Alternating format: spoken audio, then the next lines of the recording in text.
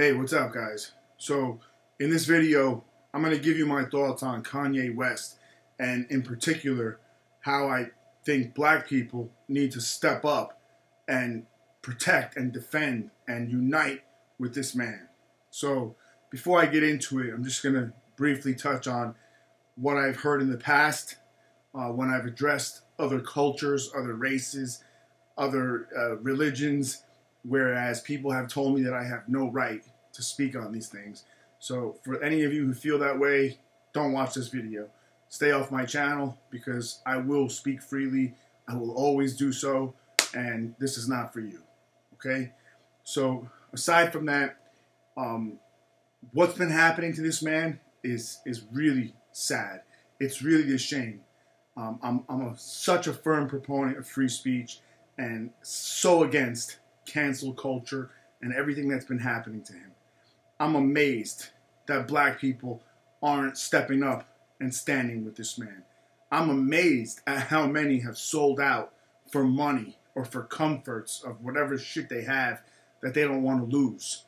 People need to realize, black people in particular, that this is one of the best out there among you. This is one of your best, one of your own, and a leader who should be held in high regard.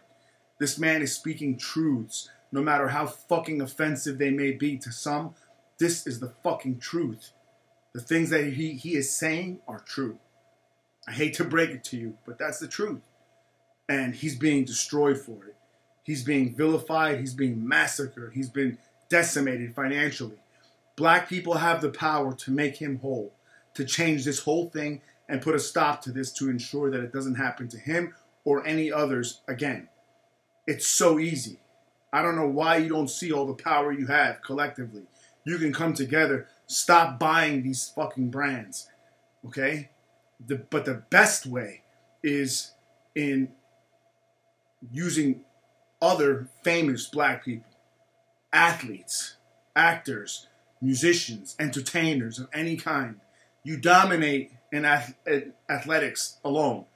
That by itself, just stop playing games. Stop playing baseball. Stop playing basketball. Stop playing football. Refuse. Just stop. Stop making music. Stop putting on performances. Stop acting. All these things collectively come together and just say, we're not doing it anymore. We're, we're protesting. Make this man whole again. Give him back what's been taken from him. That's how you get things done. Do you, can you imagine the power behind a movement like that? a collective movement like that, watch how fast these same controllers respond and react in fear and do what they have to to restore him. Watch how fast they backtrack off of all this pressure they've been putting on him to blacklist him like this.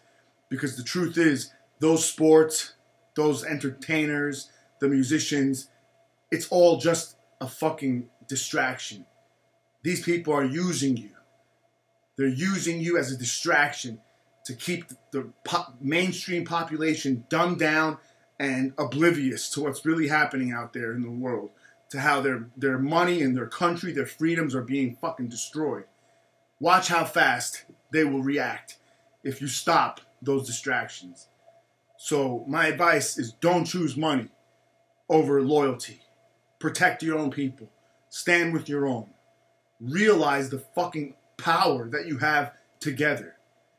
It's wrong that this man has to stand alone and be destroyed the way he is. Others need to step up, show loyalty. Strength together in numbers is always going to defeat one man standing alone. So I support what he's doing. I may not know the guy personally. We may not get along in life. If we did, I think we should. We probably would. But whether we agree or get along or not, in this particular case, he's being attacked and he's being destroyed for his thoughts and the freedoms that he has as a man to have an opinion and to state what his reality is. No one should be destroyed for that. No one should be attacked the way he has been for that. This cancel culture bullshit is garbage. It's leading us down a very dangerous path to where we're all fucking controlled and dominated. And I really believe that this advice I'm giving is valid and it's the right thing. Black people, step up, take care of your own, and protect and make this man, Kanye West, whole again. Don't be afraid. Don't be a lover of money. Pick your loyalty. Learn when you need to step up and have courage and show that courage. Be an example to the rest. There's so many out there with influence. This can be done very easily, and I believe it should be. And I will stand with this man anytime, and any others as well who are speaking their truths, who are trying to do right, who are promoting right and promoting God. I will stand with them as well. I hope you guys got something good out of this. I'll talk to you next time. Thanks.